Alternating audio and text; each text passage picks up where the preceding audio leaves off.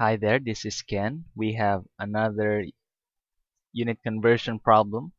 This time we are required to convert 1.00 millimeters into inches.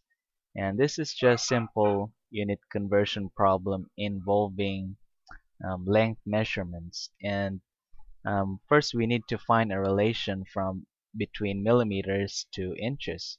And that is first that one uh, centimeter is equivalent to um, 10 millimeters. And and then we also have um, um, 1 inch is equivalent to 2.54 centimeters exactly. And so we'll be we'll be using these conversion factors in our solution.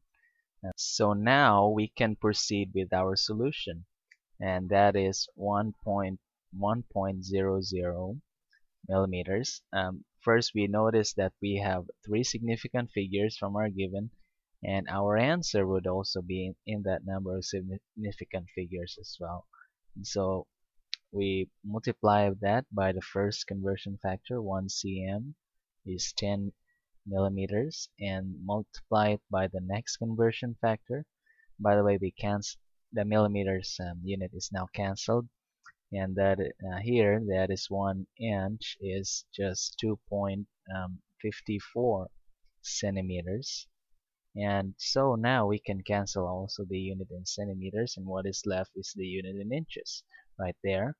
And so performing the operation right there we get in and a number that is 0.03 uh, 9 and that that we have inches and that's our final answer for this problem